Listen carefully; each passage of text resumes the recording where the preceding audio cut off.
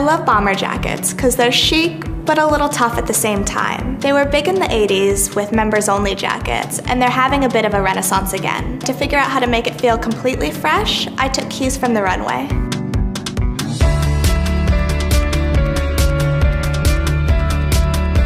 For my first outfit, I was inspired by Givenchy's incredible blue and red jacket from the Resort collection, which influenced me to try a printed bomber. The graphic black and white one I chose feels very downtown, so I paired it with an equally edgy leather bucket bag. To temper the whole look, I added a dress with a modest hem.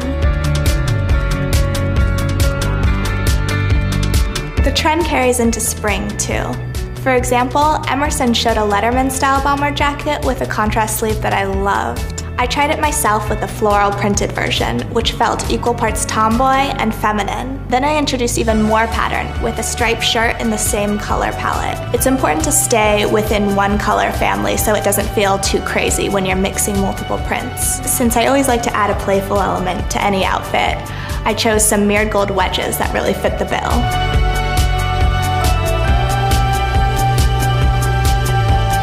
For my last look, I took direction from this great street style image I had pinned to my inspiration board. In it, the woman is wearing a classic bomber jacket with a sporty baseball cap and a side stripe pant. I love the idea of playing up the sporty feel of the jacket, but I wanted to give myself a little bit of an extra challenge by trying to style it for the office. I chose a track-inspired trouser, but then I paired it with a ladylike purse and classic pumps. So the look feels athletic, but completely work appropriate.